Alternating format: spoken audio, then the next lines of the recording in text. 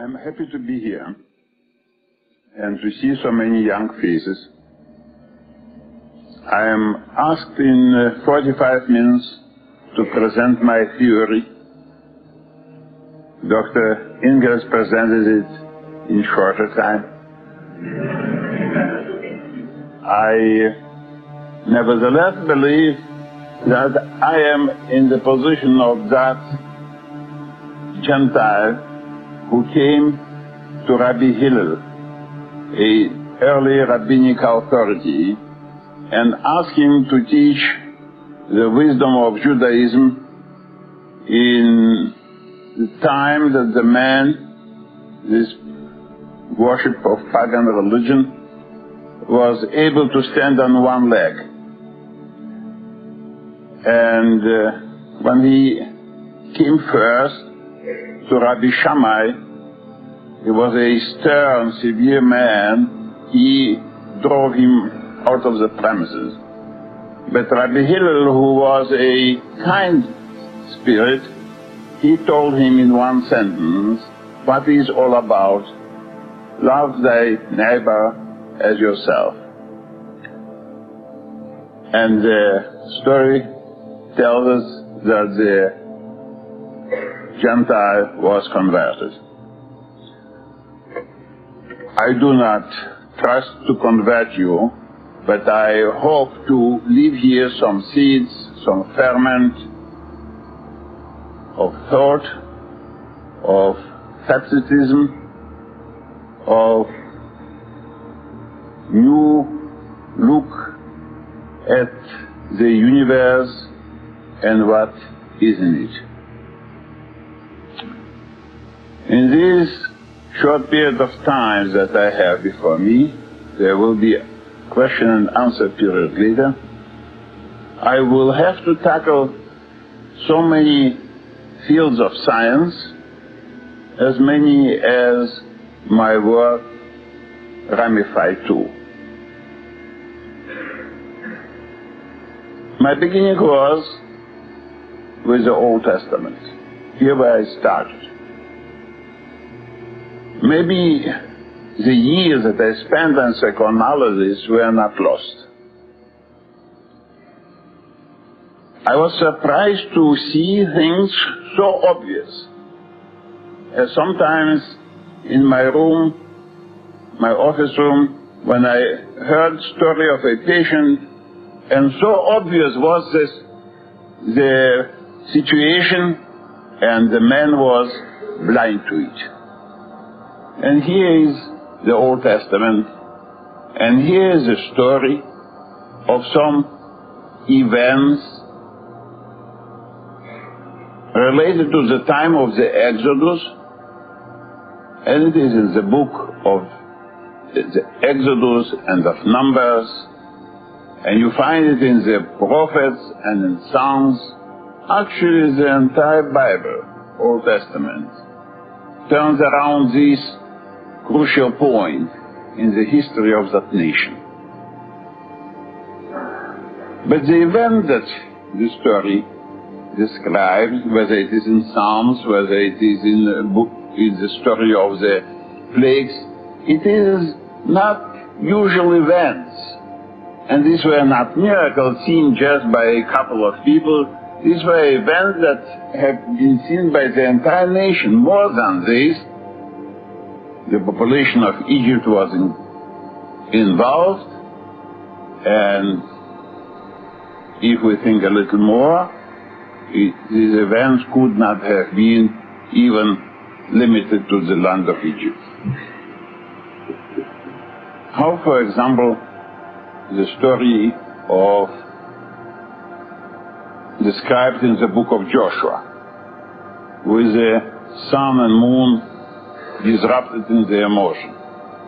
This could not be a vision just above mm, the valley of Ajalon. It must have been seen all around the world.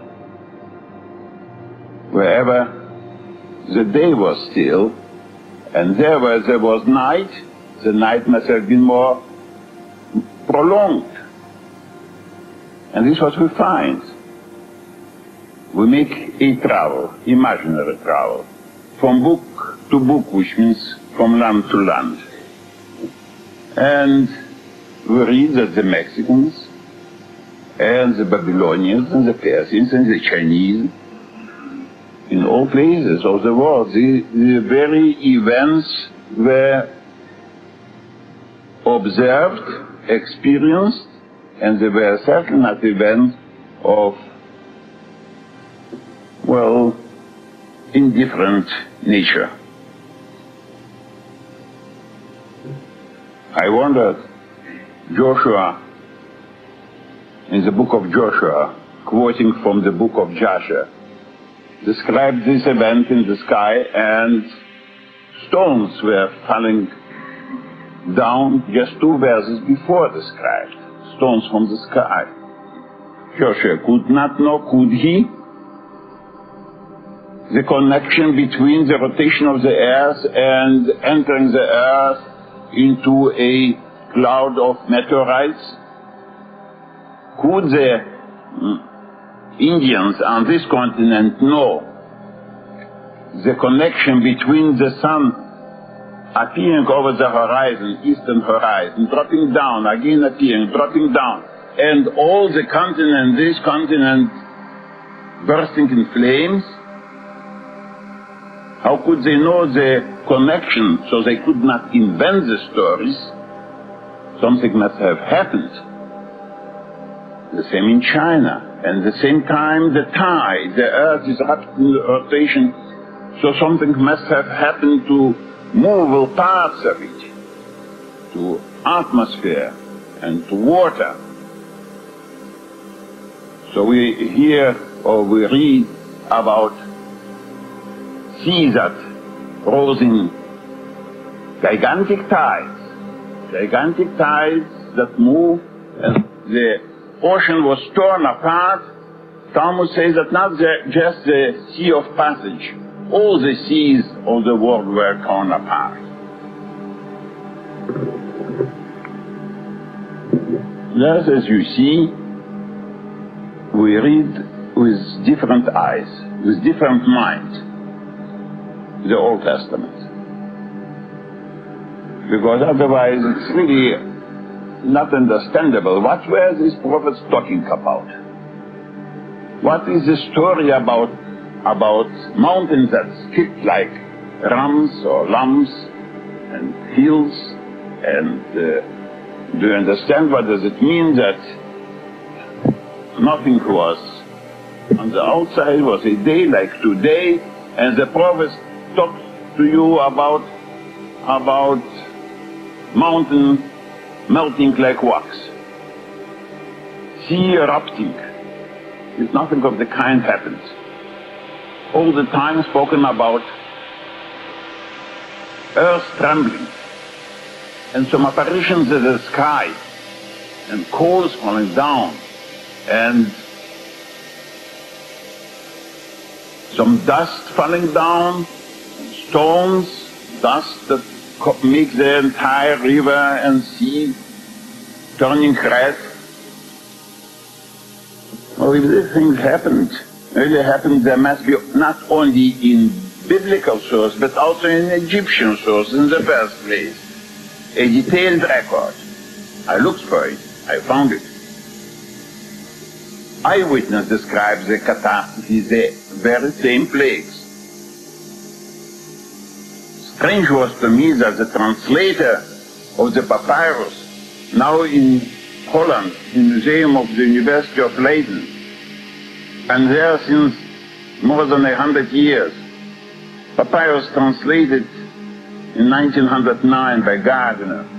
He did not even feel that the very same verses that he translated in modern English, he could read in the story of the plagues in King James Version.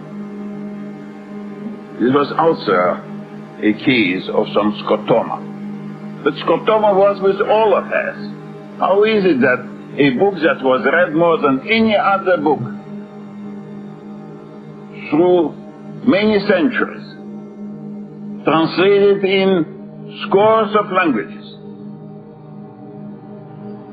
commented upon by many commentators through the many through many generations. That none of them was seeing or reading stone for stone and fire for fire.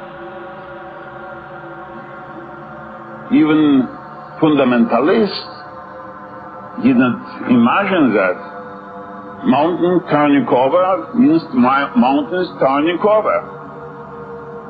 But mountains turned over and moved from their places, moved from their roots. Here in America, we know that the Rocky Mountains moved many scores of miles. We know that Alps moved from the North Italy to the where is today Switzerland.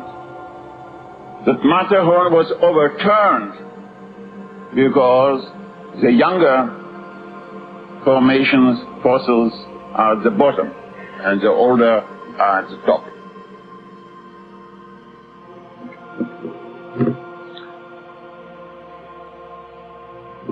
We will have to limit discussion of each discipline just by few minutes. And we are already in the field of geology. It was always thought that the mountains were created, or so to say, built in the tertiary, which is back 60 million years, and the closest to us, 1 million years ago. But researchers, investigators who went to the Andes and to the Alps and to the Himalayas all returned with the same verdict. Unbelievably young. Mountains were dragged up Himalayas. In time of Neolithic man, even in the time of Bronze man.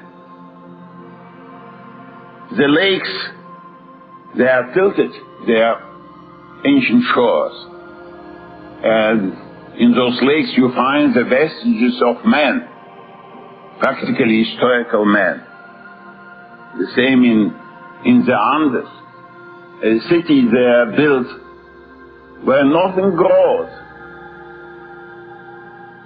because it is over 12,000 feet high.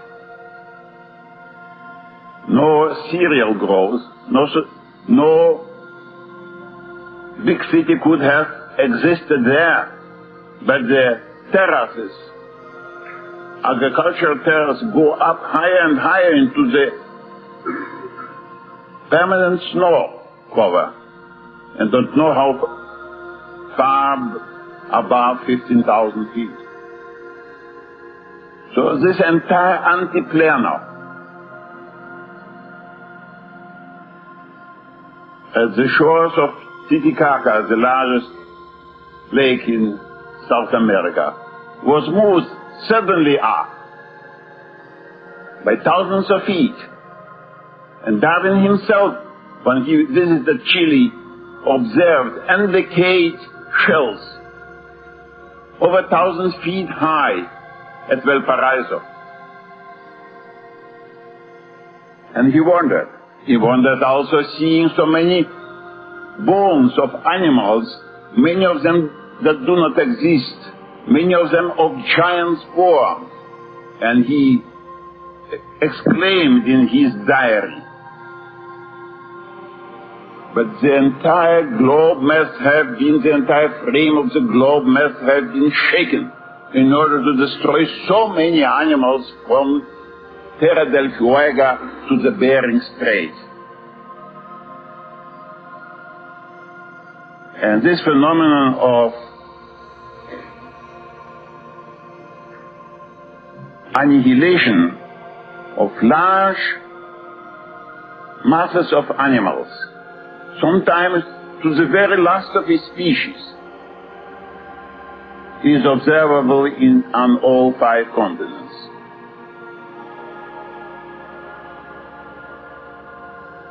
In Alaska, where gold digging machines slice so-called muck myriads of animals are entombed in that muck torn limb from limb. North of Siberia, islands are built practically from of splintered trees and of bones of animals, not only of mammoths, none of which exist in our days, but also of horses, of buffaloes, of rhinoceroses. Myriads of them. How would they come to the north? How would hippopotami invade England? Or maybe from more ancient time, how would it be that corals that do not grow even in Mediterranean were growing in Spitsbergen or on the island of Greenland or along the northern rim of North America. How is it that in those animal hecatombs you find together animals that could not live together, ostriches and crocodiles and polar bear and seal and arctic fox.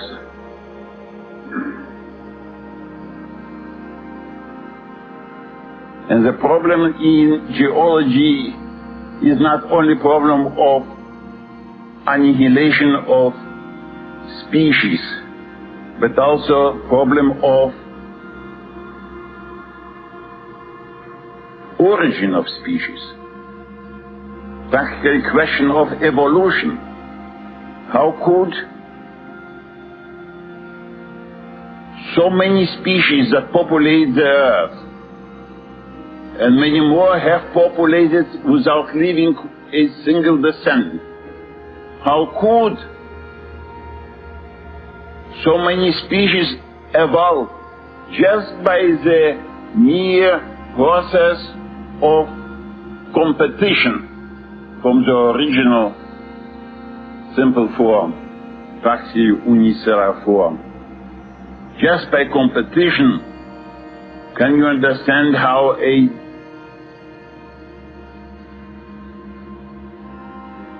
crocodile and the bird and the worm and the man and an insect with many legs all could come to be.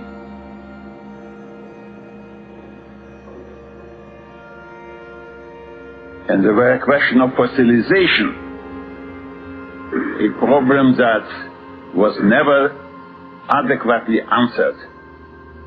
With Darwin, it is animals are wading in shallow water, dying when wading, being covered by sun before predatory fish would devour their cadavers, and the same time, in the same breath, Darwin claims that this process is going on only when the earth subsides, and the process is very slow, counted in thousands and tens of thousands of years. So where is the chance for a cadaver to survive in this condition?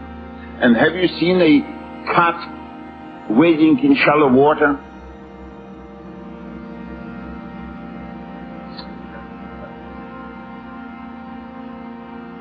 So something different. A different process was at action. The sea erupted Often the sea and land change places.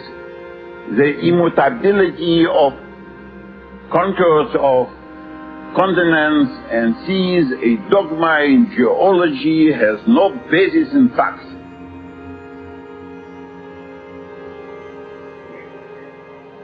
And immediately we are the problem of the climate. There were ancient climates that were very different from what are they today. If those corals grew where they were found, certainly the earth was not traveling with the same elements of rotation and revolution, which means not on the same orbit, not with the axis directed in the same position as it is today. If you don't believe it, try to cultivate corals on North Pole. It is a problem of change of climate and close to our time we know that 1500 BC and again in the 8th century BC climate drastically changed. This was established long before I turned my interest to those problems, especially by Scandinavian authors. Exactly in those two periods of time, about which my first book, Worlds in Collision, speaks in two parts of it. The catastrophes of the day of the Exodus, followed by 50 years by the catastrophe in the day of Joshua, and again another series of catastrophes that happened in the in the 8th and beginning of the 7th century, the time of the great prophet Isaiah and Amos and Hosea and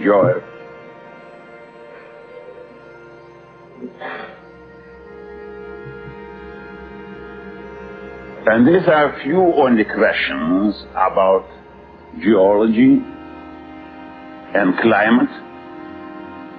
And just this week you have the information that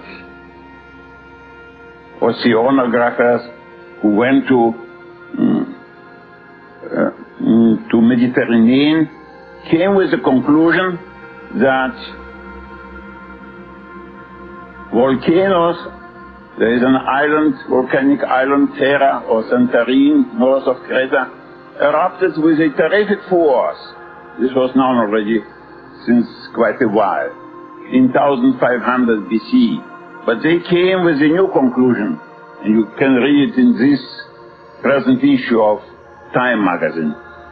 Fifty years later, another similar catastrophe and eruption. But this is what I spoke about in the first part of in Collision about these two catastrophes. The catastrophe of Joshua that took place 52 years after the catastrophe of the Exodus. And the same period of time we have also the same interval in Mesoamerican sources. Mayas and Aztecs, Toltecs before them.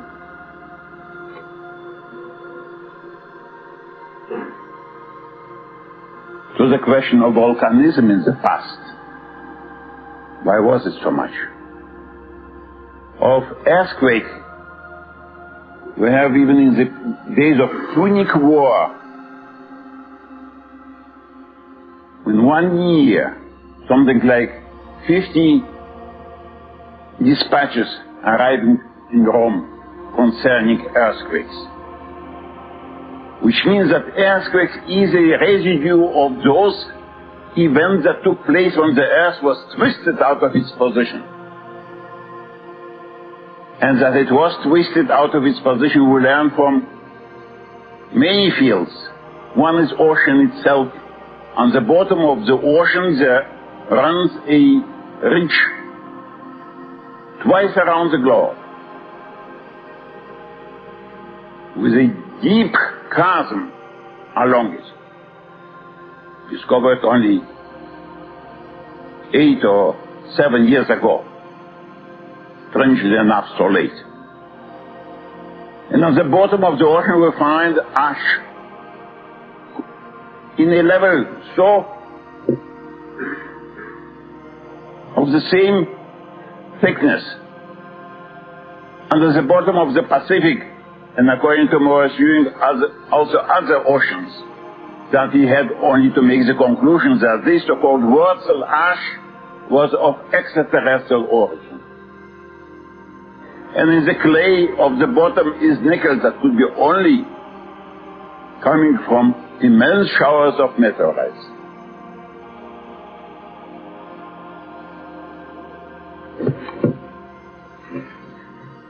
And if we leave the problem of paleontology and geology and ancient climate and we only had a chance so shortly mentioned some problems of theory of evolution and of ocean studies and of paleomagnetism, to which I will add one sentence. In ancient rocks and lava we see magnetic field reverse and thousand times more intense than Earth could invest in them. Reversed suddenly. And we have in archaeology archives of cuneiform tablets with astronomical observation, very dry observation, mathematically exposed. The exposition is very simple. And you read and you find in these tens of thousands of tablets found in Nineveh, in the palace of Ashurbanipal that was destroyed in 612 BC. And these tablets were stored them from time earlier, observation of period before 7th century. All those tablets that are before 7th century are, are according to the Babylonian scholars entirely wrong.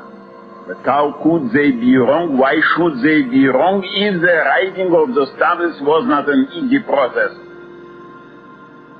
Observe, to observe, to impress in, in clay, to store just wrong figures for no reason at all. And there are tens of thousands of tablets like this in the British Museum alone. There are also manual of astronomy that describes the, the way of measuring, the way of observation, and there you find that the length of the day and the, and the shortest day and the longest day of the year and the direction of the axis, the polar star, length of the moon, the movement of the planets, everything was different before 700 BC. This is really a field to study and not to neglect or reject, saying that this could not be true and therefore it is, these are imaginary figures. It is not legend that you make it. You are free to follow your imagination. And those Babylonians were very well versed in mathematics, admitted.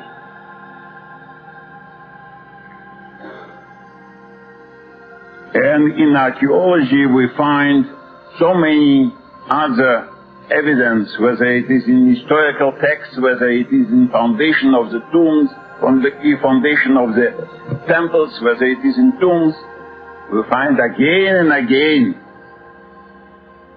proofs of those catastrophes and changes in the position of the globe.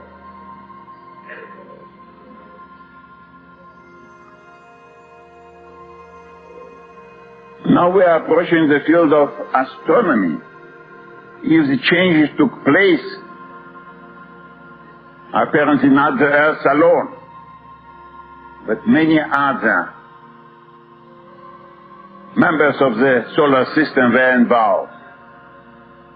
In mythology we read about Theomachy, battle of the gods.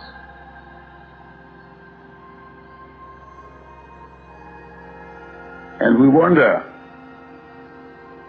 we wonder about this ancient text. Why, I ask again and again, why the ancient worshipped planetary gods? Jupiter and Mars and Saturn, or Zeus and Aten and Kronos. Others, Mercury, Hermes, all were more important to them, were greater deities of the sun, light-bearing sun, light-bringing sun. There must be reason for it. There must be reason why temples were built. Do you know the explanation why Zeus was always in the speech of the ancient why temples were built to it? Are you so impressed also by the planet Jupiter that you would regard it as a chief deity above sun and moon?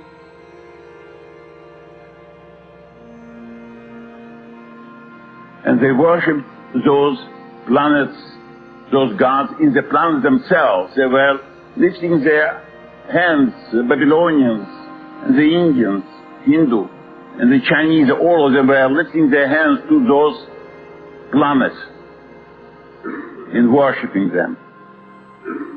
And human sacrifice were brought to them. And even to re into recent times, among the in American Indians, in the last century still, human work, human sacrifice were brought to the planet Venus.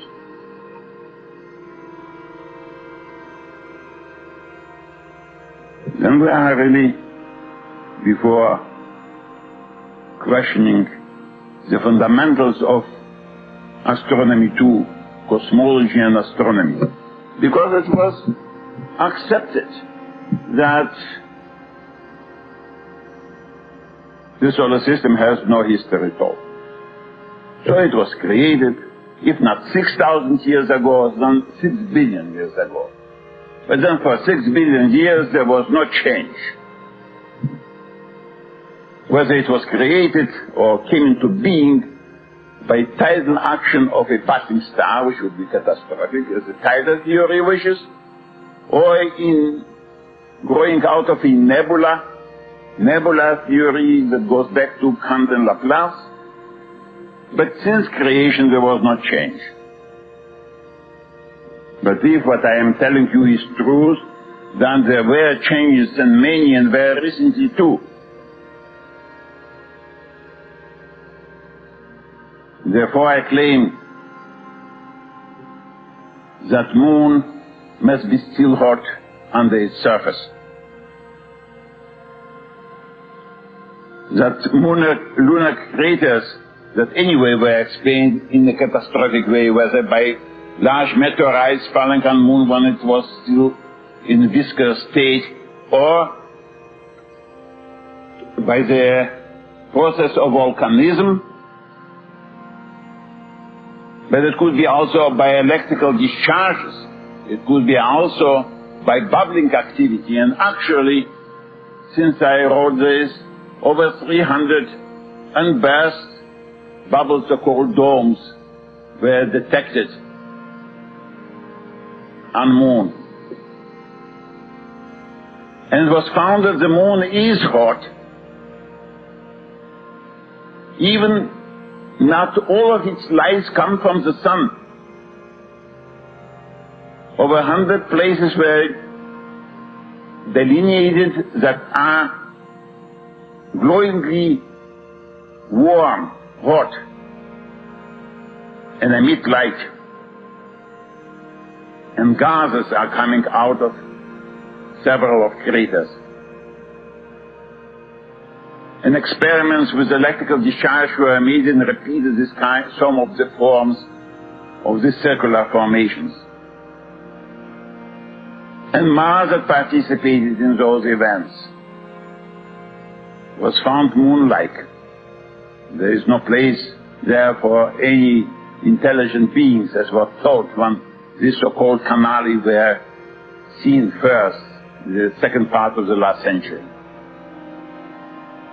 And so it was found in that planet. And Venus must be hot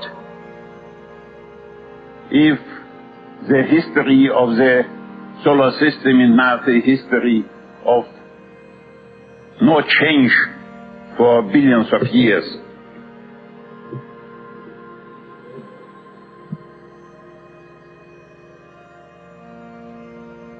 And Venus was found hot not room temperature it was thought until 1959. And in 1961 it was detected with radio means that it is like something like 600 Fahrenheit and Mariner 2 was sent out to find out true or not true? It was found that even more, it is full 800.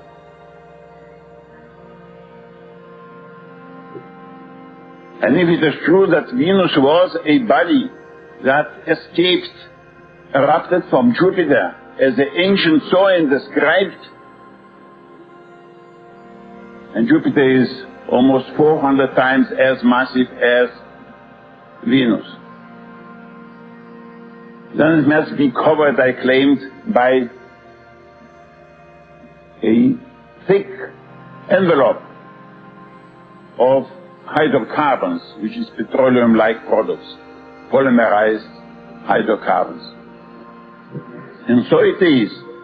45 miles above the planet, 15 miles thick, is this envelope of hydrocarbons, dust and gas.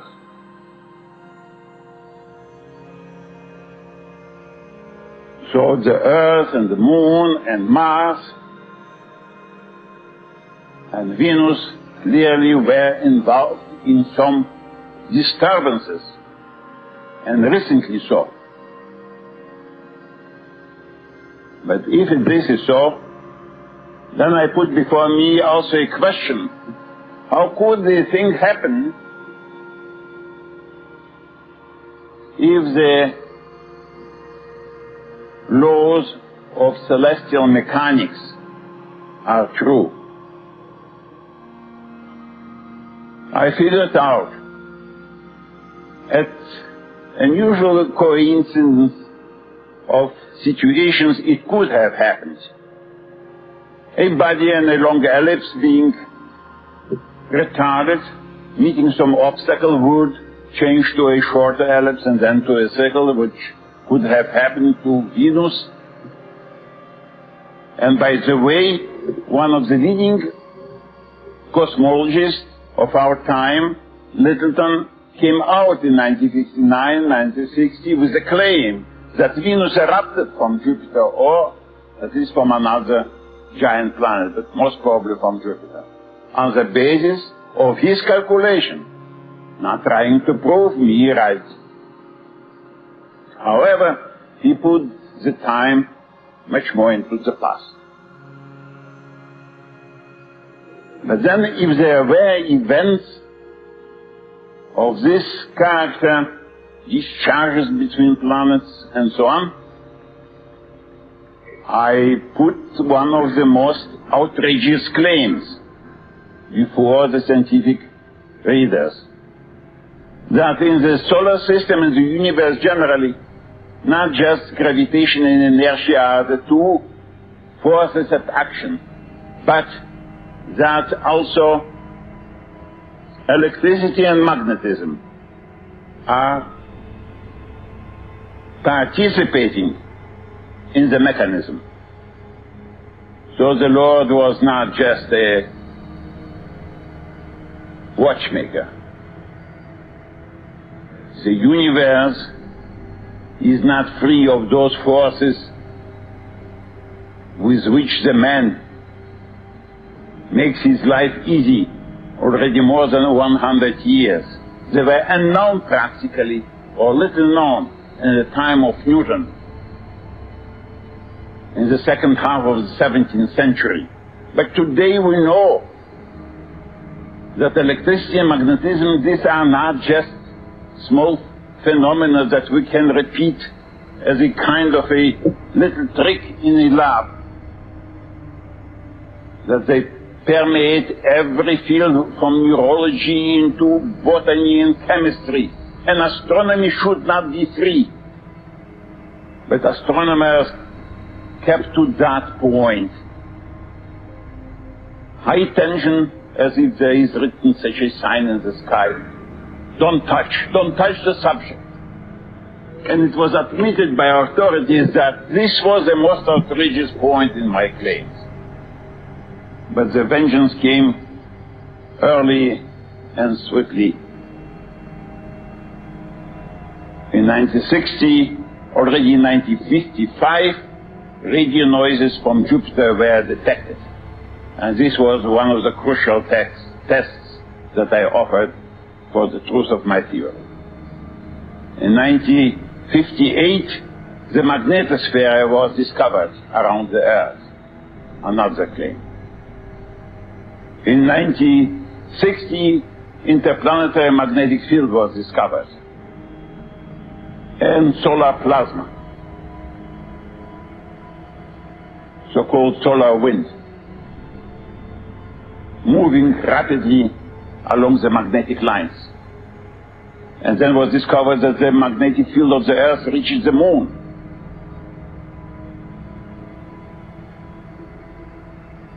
So, by today, it is the situation reversed. If I would come today in an astronomical assembly and remind those assembled there that only 10 years ago and less, they were, from the first to the last, completely opposed to any introduction of electrical magnetic forces as interrelations between the bodies in the universe or even more so in the solar system. Today the memory is so short that the people would start trying to remember, was it really so? But my opponents put it on record.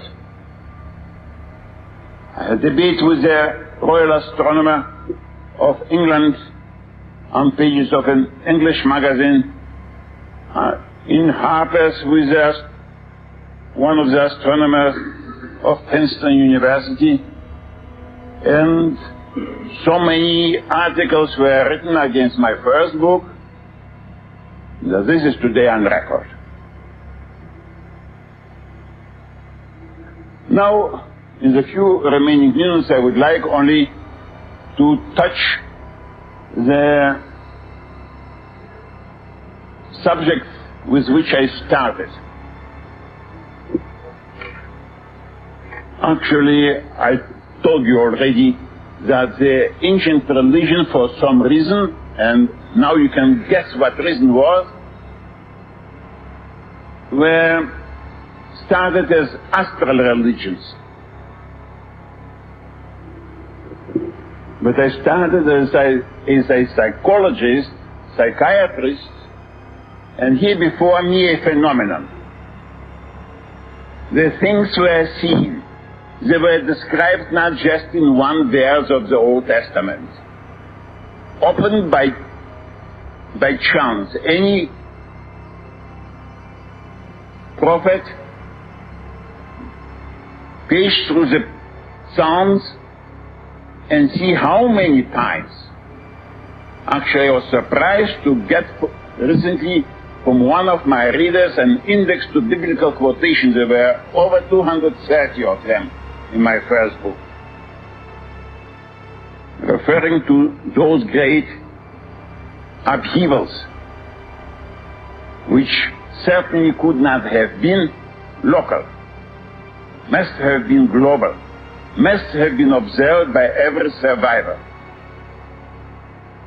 Then if these things were described so many times, not only in Old Testament, but in every ancient book, ancient sacred book, whether it is Vedas or Mexican inscription, you go to Guatemala, you go to Mexico, you see all the temples, all the figures are Quetzalcoatl, which is planet Venus, Huitzilopochtli, which is Mars, snow.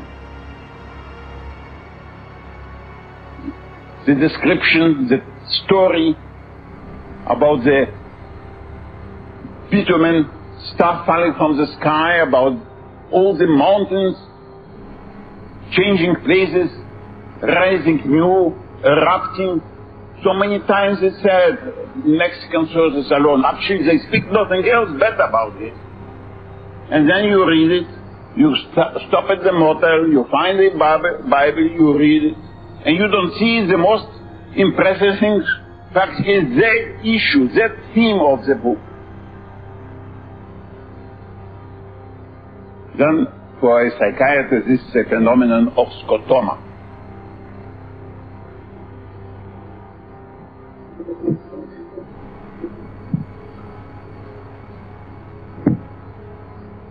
And this is an important issue. Because if the man, if the mankind actually, is suffering of scotoma and also of collective amnesia, and you can follow through the ancient literature and see how this amnesia overwhelms. How still somebody like Lucretius remembers, and his contemporary friend Cicero denies already. How the books of the New Testament and Revelation and Sibylline books, and before them the books of Stoia, repeatedly speak about phenomena which are today classified as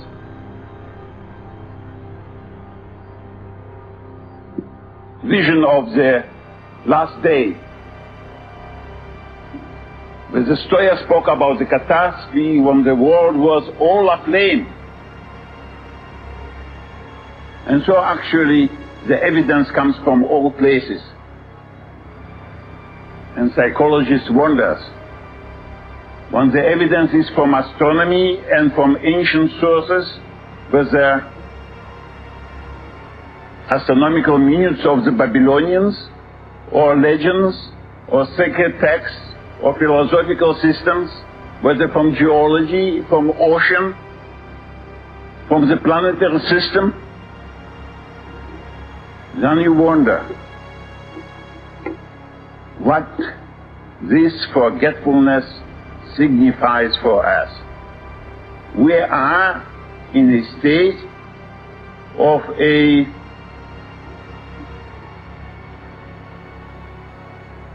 victim of amnesia. A humankind is a victim of amnesia. And a victim of amnesia does not act responsibly. He acts irrationally. His technological pro progress outstripped his understanding of his milieu and of events in which his ancestors lived or succumbed. And it is a dangerous situation when a victim of amnesia plays with thermonuclear war weapons. He enters into conflicts for which there is no reason. And in many of our actions, even as single individuals, we are sharing in that curse of amnesia, of, of not wishing to know, of preferring to forget.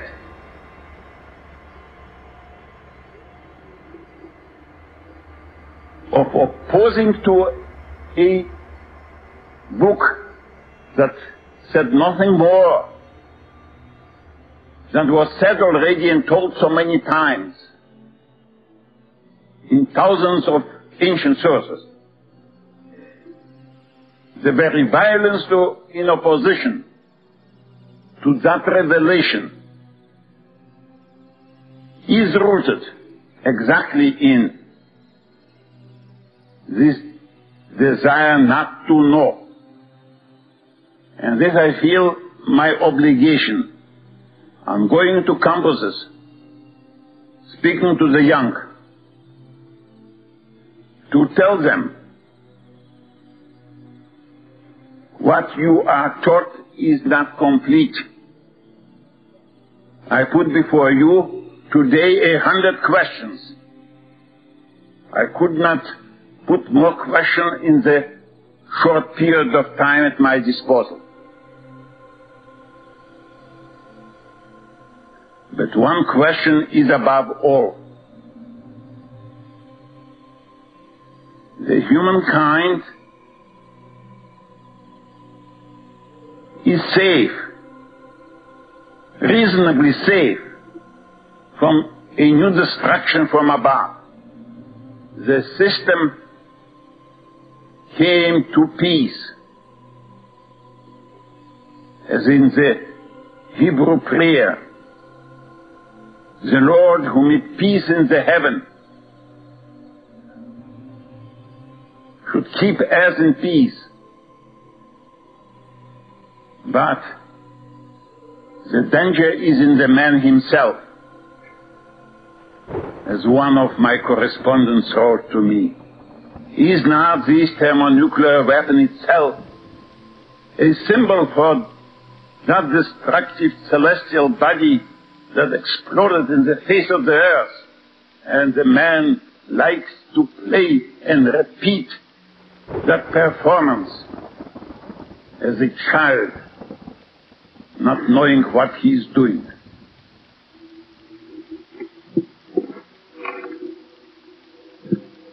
By now, my time is over. And you ask me questions. I will try to answer the best of my ability. And thank you.